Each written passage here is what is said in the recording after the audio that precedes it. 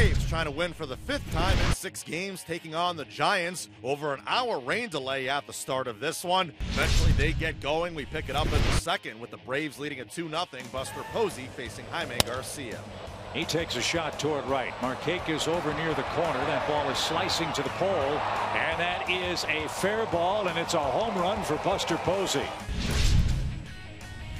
Atlanta's got runners first and second, down a run.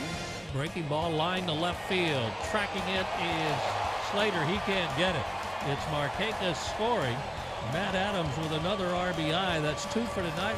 Lane Adams is coming off the bench. He is going to pinch hit. Swing and a drive.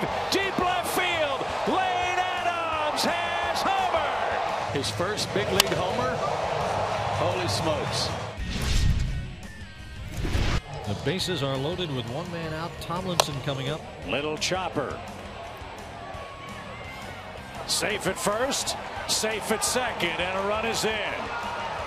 Santana played that as poorly as you could possibly play it.